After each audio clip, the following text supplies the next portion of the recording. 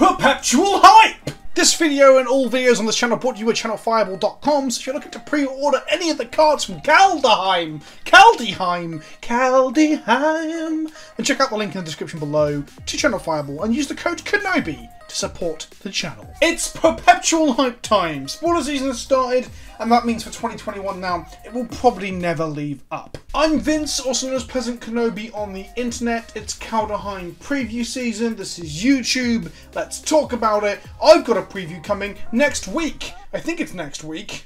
Yes, I'm revealing a spoiler on the 14th. It's not an exciting one. They never send me exciting stuff. I even asked them why. Why do I get looked over for rares? Guess I'm just not cool enough. First up, we have the Swole One-Eyed Bold Daddy, also known as Alrund, God of the Cosmos. The first time I read an actual Cosmopolitan article, it was the one doing the rounds about making girls squirt. What that's got to do with sensual beard daddy is beyond me. Oh. Oh. Oh. His front side is what they used to call a Maro, a creature that gets bigger for number of cards in hand. It also gets to increase the number of foretold cards that are in exile. It also, at end of turn, allows you to speculatively name a card type and potentially draw them. Okay, interesting. His backside is a 2 mana 2 3 crow, so it's like a storm crow on crack, that when it does damage to the opponent, it bounces back to hand and you scry 2. My first thought upon seeing the back half of this card, the 2 mana 2 3 flyer that scries 2 upon combat, was that it was quite pushed. But the bounce back to hand is mandatory, so I think that's actually a real downside. Or at least it's meant to be a downside. My first thought was, why does blue just get easily castable 2-3s for 2 that a modal have a god mode on the back and scry 2 when they hit people? Oh my god, Watsy, what are you doing? Why do you hate white? Shake my head. But then I realised the bounce back to hand clause is mandatory, and you can't opt against it, making this bad in tempo or aggro decks in theory. If you are being aggressive or you're trying to use your mana in a more effective way than your opponent, then replaying the bird is pretty garbage. But then I thought, what if it connects and ensures that your Delver flips next turn? And then it gives you a 4 mana card advantage engine that can just name instant or sorcery in a Legacy Delver deck and at least draw you a singular card. Ah, Maybe. I think the front half being a bouncy bounce tempo loss does make it a little fairer, and the backside's body with no protection actually might just suck. The front side scry can set up the backside to draw you the cards. So on turn 4 you can swing, hit, scry, put it back in your hand, cast it as the god, end of turn, draw two cards. So that's nice. I think it's a nice design. The other hotness with this card, as pointed out by my wonderful patron Fuzzy, whilst he sucked at Rainbow Six last night, the ketchup on pizza loving bastard. He said if you can attack with this, trigger the bird, and then on the stack flicker it, you get the god, and then obviously the like I said, the scry sets up the draws. You can do this with something like Ephemerate. The fact that god side is good but not extremely pushed makes this feel not too obnoxious, but I certainly want to try doing this in some sort of Soul Herder deck in Modern. Next! Valki, God of Lies. God of lies. His flavor text should be something like White does get to do its own powerful things. Honest, am I right? It's a 2 mana 2 1 that ETBs to temporarily exile a creature from each opponent's hand, each being the operative word there because it means it's good in Commander. I say good, it has more application in Commander. He can then become one of those creatures for X, where X is equal to its CMC. Its flip side is a considerably powerful Tibalt Planeswalker that doesn't have a chaos effect on him, so one of my Kaldheim predictions was fucking wrong.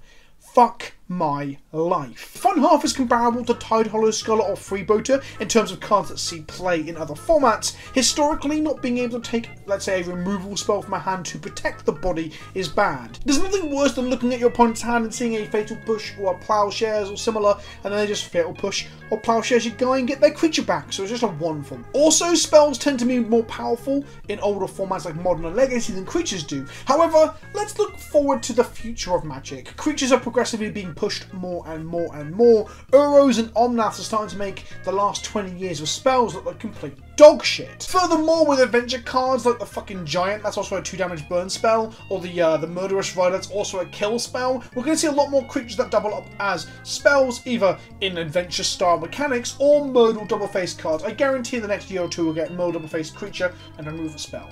If the creature side tends to be on the front or the main part of the card in the case of the adventure cards, then this thing will be able to take those. What I'm getting at is that I think this card taking creatures historically isn't as good, but as time goes on and we push creatures further and further and they start to double up as removal spells too, I think taking creatures will be strong, if not stronger, given time. This might actually end up being better for taking creatures in the long run and indefinitely in formats like Standard or Pioneer or maybe even Historic. The flip side is this huge 7 mana 5 loyalty Tibalt Chad, who upticks by 2 to exile top 2 cards, uh, top card of each player's library, and minus 3s to exile a creature or an artifact. Beyond that, he of course has a paragraph for a static ability at the top, and a uh, an ultimate that I would say doesn't matter too much, but it's only two ticks away from doing, and it gives you mana as well as exiling all graveyards, so it's pretty strong. The static ability says that he can cast any cards he has exiled, um, and you can spend mana as if it was any colour. Now, importantly, it's not a literal static on the card, it's actually an ETB make an emblem with a static ability, so this is a static ability on a Planeswalker that stays after the Planeswalker has died. Can you imagine if... I mean, I'm assuming this is being used to make Tibalt less of a feel bad when you play it yourself and make it more fun. And I like that. But can you imagine if they use this templating for a Narset or Karn or, or Teferi of, that we saw in War of the Spark, a one-sided Staxy rules-changing effect on an emblem? I would assume they wouldn't, but it does put the fear of God or gods into me. Get it? Because the sets full of gods. Either way, that's some scary shit. If this was a 7 mana Planeswalker with no front half, it would be probably unplayable. If it was a 2 drop creature freebooter on the front with no backside, it would be borderline unplayable. The fact that this is a creature disruptive threat on the front and a 7 CMC value engine monster on the back makes it quite solid, I feel. 7 mana is a lot for the older format, so I doubt this will see play anywhere outside of someone fucking about with Rectofit in Legacy, for example, but I can see this seeing some sort of play in Standard and Historic. Like, both sides are relatively good, and then when you combine them, it's like a multiplication. It gets a lot better when you can fill two slots in your curve. I also really like the design of the front. It being a 2-1 makes it die to literally any and every removal spell ever, or at least since they stopped printing cards that can't kill black creatures. It's a nice piece of balance for a card that can fill in like multiple roles. Beyond that, Lurrus can cast the front half from the graveyard, and you can play this in your Lurrus deck. So you can have a, a an aggressive or attrition-based Lurrus deck like the sacrifice decks we've seen, but also have a Rakdos 7 mana Planeswalk on the back end that you can cast in the late game if somehow you get to 7 mana you haven't killed your opponent. You can also cascade into the front half of a Shardless Agent or a Bloodbraid Elf and decide or opt to cast the back half. That's just how the rules work. So that's got to be material for at least one video or stream, right? Next! Goldspan Dragon is a 5 CMC 4-4 with flying and haste, and when it attacks or is targeted, make a treasure token, and it makes all treasure tokens crack for 2. That's a lot of good text on a card, it's solid, it's cool. The reason I mention it here or bring it up is that I'm a little sad as I really want to see treasures eventually become part of White's colour pie in the post-Smothering Tide world. I know that, uh, that people at Wizards have said Smothering Tide was an outlier, it was a one-off, but I have to ask the question, why? Lotus Petal to me feels white adjacent. Whilst we see it played in blue and red decks and Legacy, the fact that we have um, archaeology as part of like white's thematic colour pie, cards like Tesha, cards like um uh, the Bomberman one, what's it called? Uh, uh, salvages, all that sort of stuff it feels like Lotus Petal is more adjacent to white, so that the treasure tokens, which are effectively Lotus Petals, I feel like could have been a space they could have explored for white to give it something else to do, whilst all the other colours are doing practically everything. But alas, red has it now. Cool card, but sad to see a recently grown space be pushed to another colour that isn't white.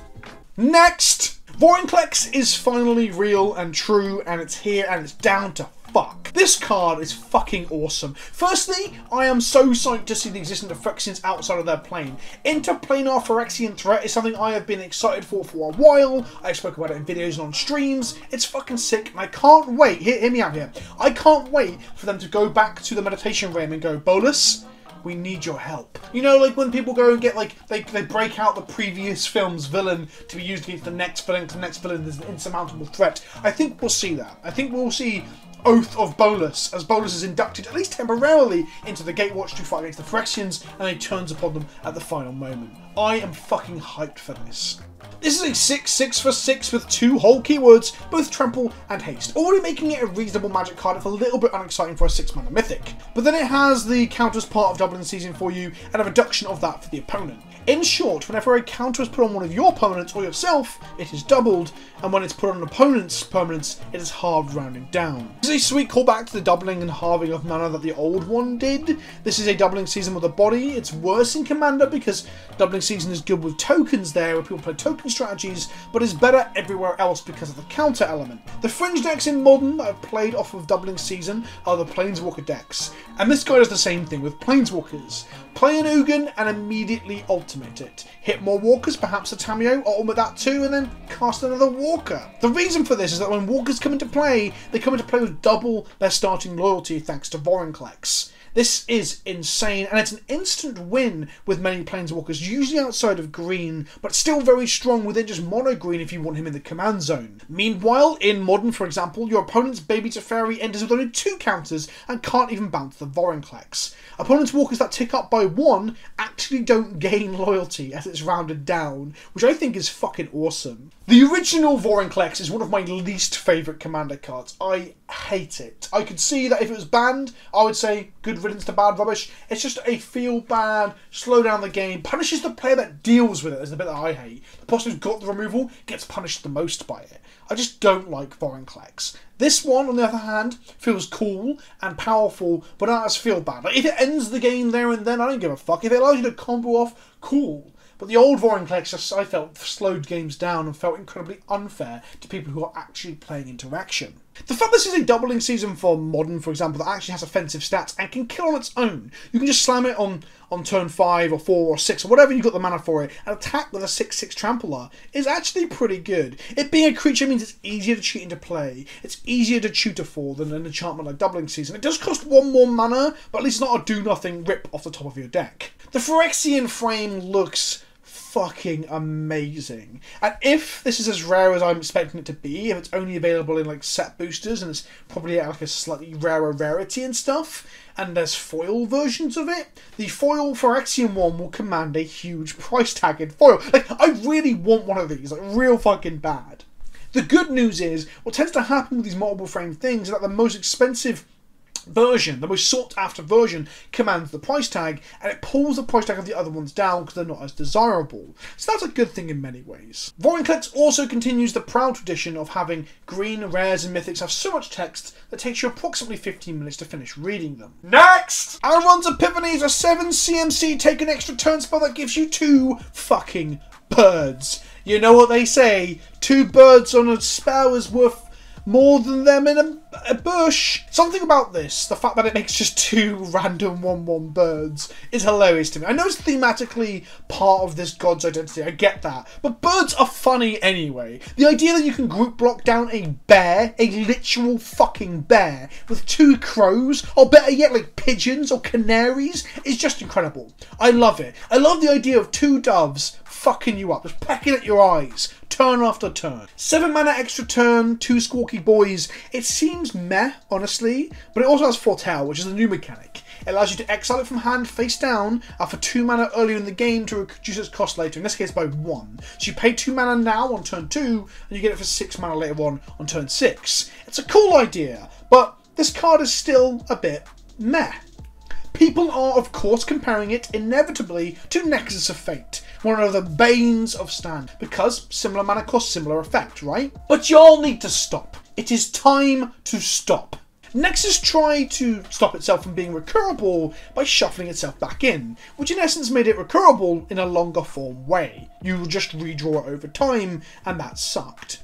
This one goes back to the tried and tested way of exiling itself from the game. They learn from past mistakes, people. They are learning and improving, and I want to point at that and be like, good. That's good. This card isn't going to rock the world, even in something ramping relatively hard. Where I can see it being interesting or maybe a problem is anywhere that is looking for a critical mass or even just an extra copy of or new copy of an extra turn spell that they can cast for free. I have played uh, the Genesis Ultimatum deck on the channel before at the beginning of Zendikar Rising Standard when Omnath existed. It's a very fun deck that had some incredibly explosive draws. Now, Omnath is gone, of course, but the deck still exists in some form. Genesis Ultimatum is quite the absurd magic card.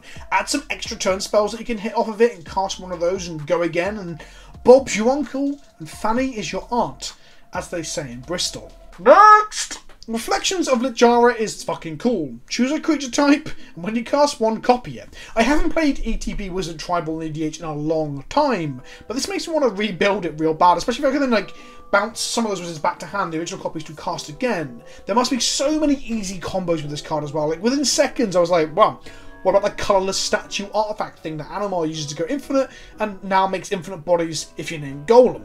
Beyond like the a million infinite combo variants you can do with this fucking thing, I also think this would be sick in an elemental deck as well. Copies of elementals with like with Viscera Reef out would be amazing, or copies of Muldrifter, Flicker Wisp, or even just Omnaths. Fucking value. Next! Old Growth Troll, another green rare, another wall of text. It is a 4-4 with trample because you can go above the rate when it's hard to cast. But wait, when it dies, it becomes an abundant growth that can also sack the land to make a 4-4 with trample. So it's actually a, better than that, that furry wolf pillow haven thing.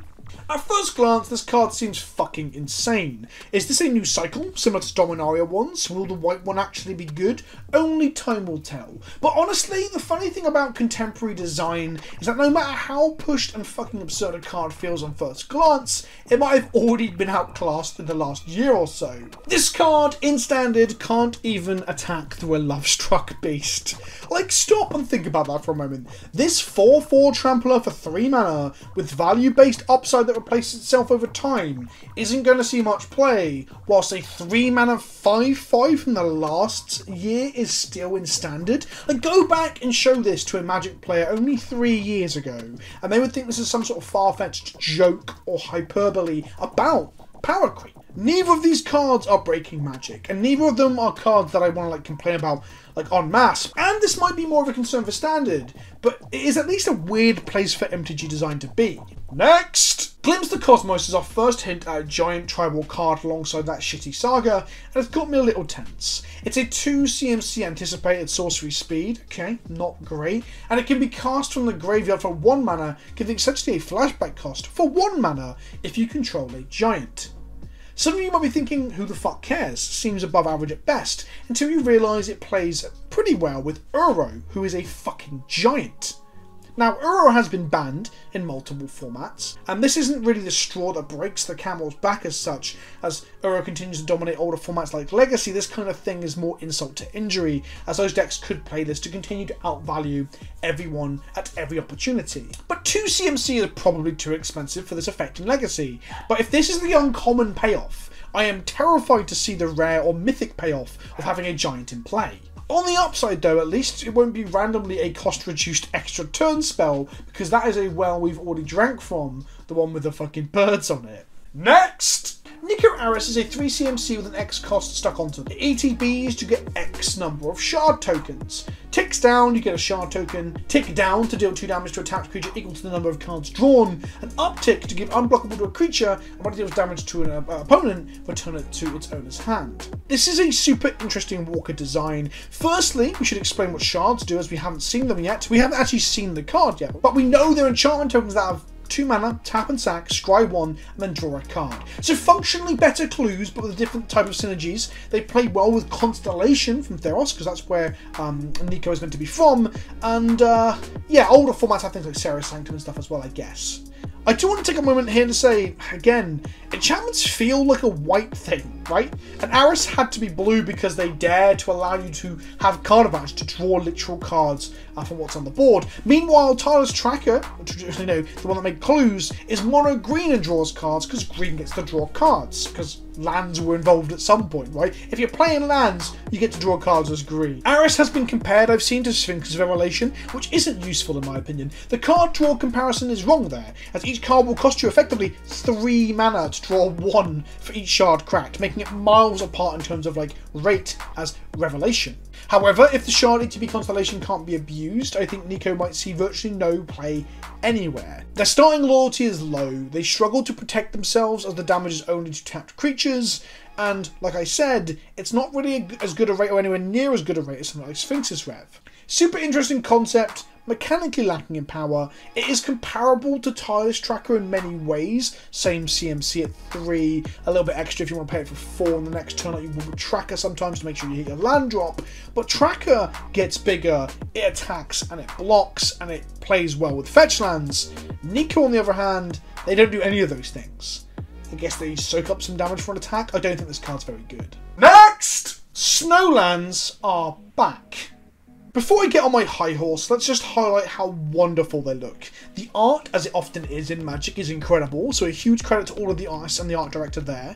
But beyond that, these frames are incredible. The frosted text box and icy desaturation is just phenomenal. They look physically cold to touch. They will evoke a feeling of a frozen environment in limited and standard, and I love that. I love that the game pieces are going beyond, and they have in the past as well, but going beyond the art to evoke a feel, an environment, an aesthetic. And that's the problem. There's some things that aren't applauded enough in Magic because the game design has been such a mixed bag as of late. Is that the visual side of Magic is absolutely at the front of its class. From art to asset design, Magic is an incredibly well made game that manages to avoid feeling cheap like a lot of other big card games do.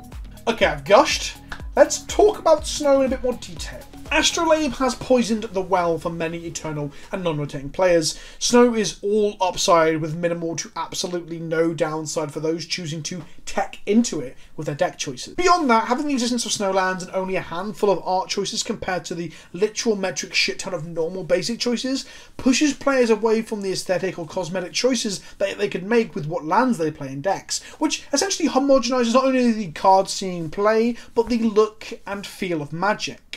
It's kind of ironic that I sit here and compliment the visual and art direction of Magic when the existence, the sheer existence of Snowlands and themselves, like reduces your options in terms of customizing your deck and the way your deck looks. There's a, a sad irony to that. In short, if Snow comes with an upside that makes it pointless not to play, then there needs to be a clear and painful counterplay strategy available. If there's a good payoff, there should be some way to punish playing Snow. A Blood Moon, or Boil for Snowlands is an obvious one, but something Wizards are terrified of doing now. They're so against taking resources away from you. I might even make a short video talking about the problem with Snow in a bit more detail, probably just labelling the point I just made, because it does bug me. Like, there's so many cool lands out there. Think about the lands that were in Jumpstart with all the flavorful thematic things, the squirrel ones from Unhinged, the goblin ones from Jumpstart, and then it's like, well, actually, I probably should be playing Snow. It sucks.